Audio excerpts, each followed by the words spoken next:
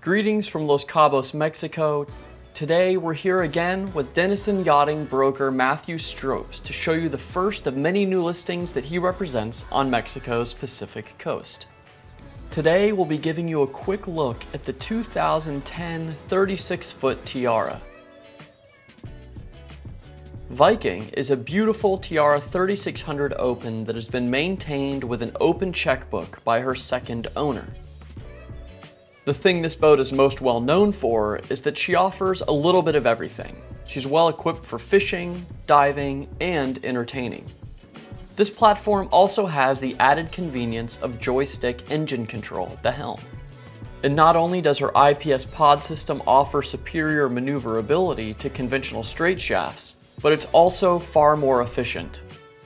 As far as the efficiency that you can expect, she's powered by twin Volvo IPS 500s. These offer her a 27 knot cruise at 2900 RPM, burning 25 gallons per hour, and they give her a top speed of 35 knots. Convenient to service, the mechanical space is found below the covered portion of the cockpit. Her cockpit takes up the full 13 feet 3 inches of the boat and is complemented by a swim platform found all the way aft, which is accessed through a dive door to starboard. Making it easier to get in and out of the water, there's a swim ladder integrated into the swim platform. One of my favorite features is the bench seat found aft that folds down out of the transom, adding plenty of seating for entertaining guests.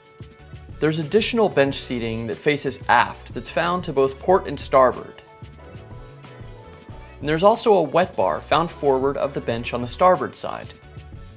Across from the bar is a swiveling bench seat that ties in well with the helm station. Here at the helm, you have great visibility in all directions, including forward onto the bow.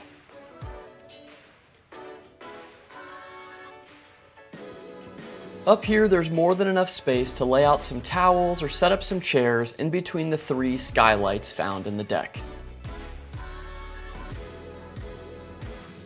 Jumping directly below the bow cap, we move into the living area, starting with the galley.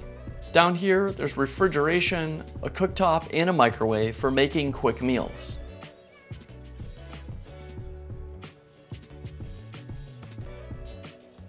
Forward of this is the berth and storage area for your personal items. Thank you for joining us today in Los Cabos for a quick look at this 36 Tiara Open. If you have any further questions about the boat, you can reach out to Matthew Stropes with Denison Yachting anytime.